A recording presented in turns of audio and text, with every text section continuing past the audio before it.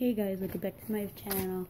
Uh, so remember when I posted the back bend video? Well, that's gonna be up. That was up yesterday, and it wasn't really showing how you guys can do it. So I'm gonna show it properly this time. Okay. Okay, so when you're doing the back bend, when you start off on the wall, you put your hands up. Boom! Right away, you want to put your head all the way back, as far as you can. But you don't want to be as close as I am right now, so take one step forward until you feel like comfortable and stuff. So, yeah. You want to make sure your hands are flat, like this. And I'm still a beginner, and that's why I have the walls behind me. Hands up, hands flat, head all the way back, then bend.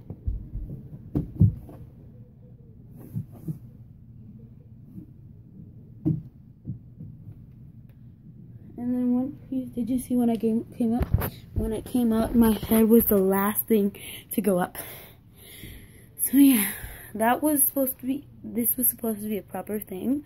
And you're not supposed to keep your feet in the same spot.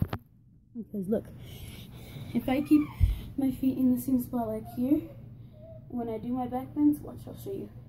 And I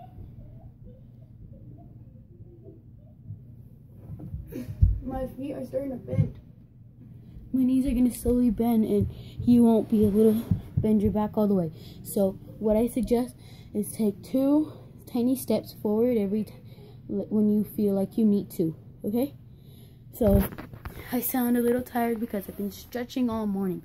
Literally, stretching all morning. You cannot doubt it, literally. So, yes. Oh, and so okay, so oh, yeah. Um, that's it for today's video. Next time, I probably show you my stretching routine for my flexibility. And subscribe, like the video, and thanks for watching.